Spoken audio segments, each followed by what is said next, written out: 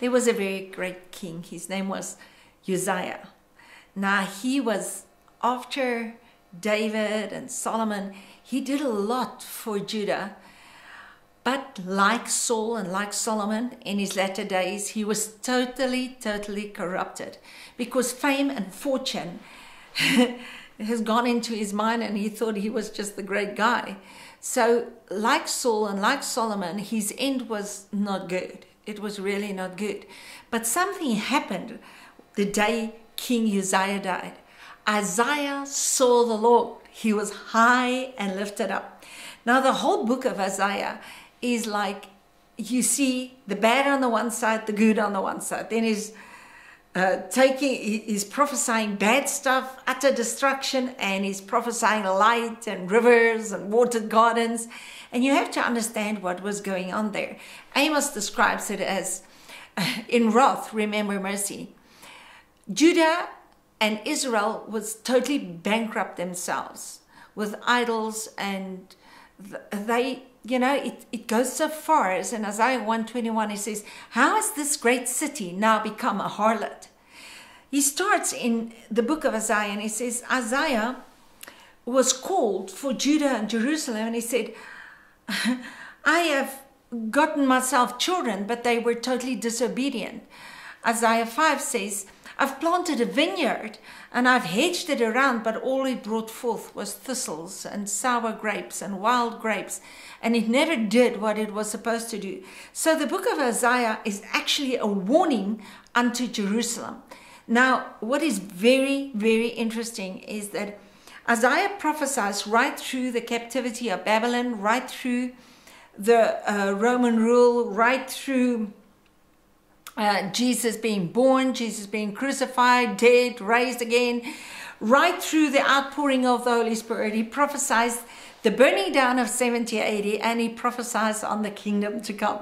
So those prophets never understood what they prophesied because in 1 Peter it says they searched diligently to see who are they prophesying to.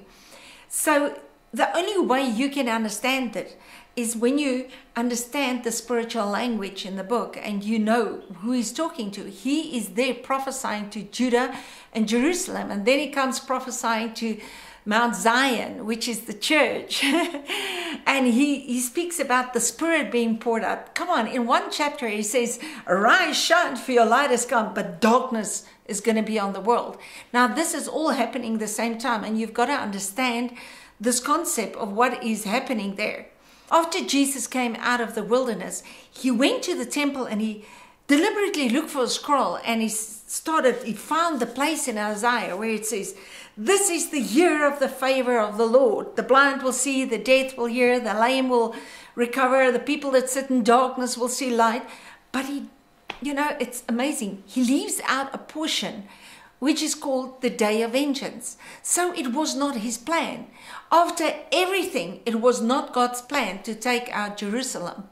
So in Matthew 24, as Jesus left the temple for the last time, he sat and he looked and he said, Oh, Jerusalem, Jerusalem, what more could I have done for you?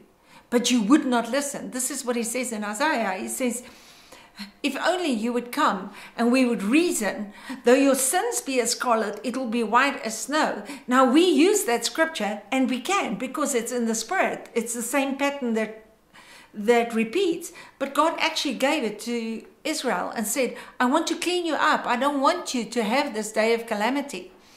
But when Jesus came, he came to his own, but his own rejected him because they were totally infiltrated with Satan's seed and in Babylon, they started their own worship system within the system, which is the fig tree. That's why Jesus actually cursed the fig tree.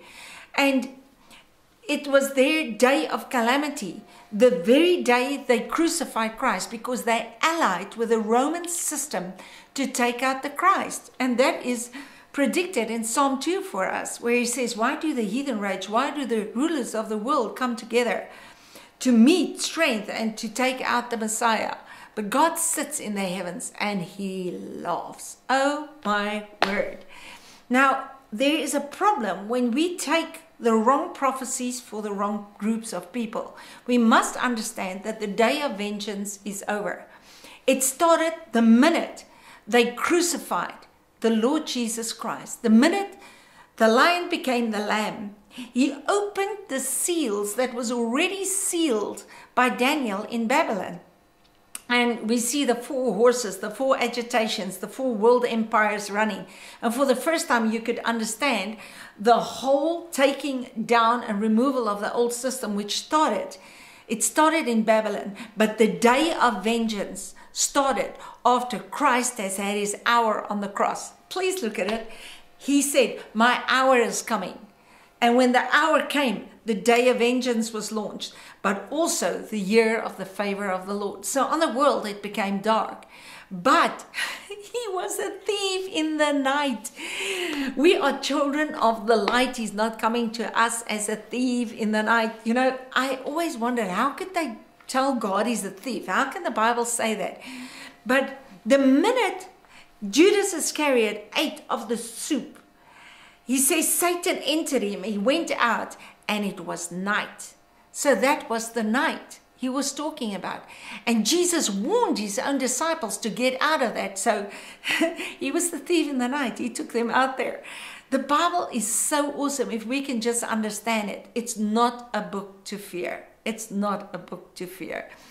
The day of vengeance is not for us, it is for those people he says in Matthew 23, verse 36, he says, It will be upon this generation.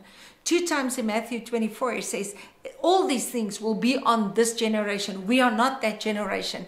It is exactly the 40 years after the cross when the removal of the old was into its last stages.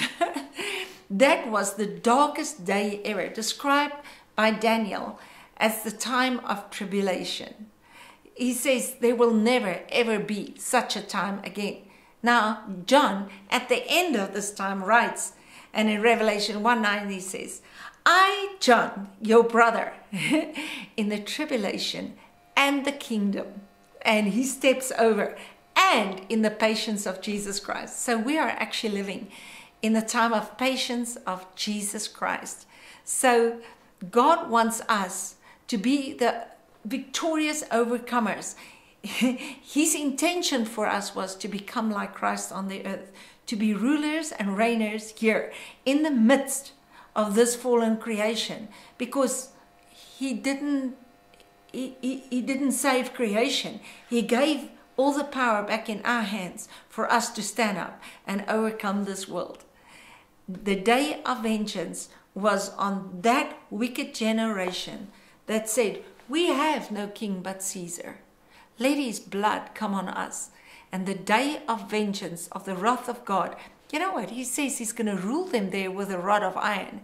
Now, Rome is iron, and Jesus ruled them with a rod of iron, totally taking out the old, bringing in the new. It was the worst day ever on the face of the earth. And that is what the book of uh, Revelation describes the fulfillment of what happened there. And then the last two chapters is all on the kingdom.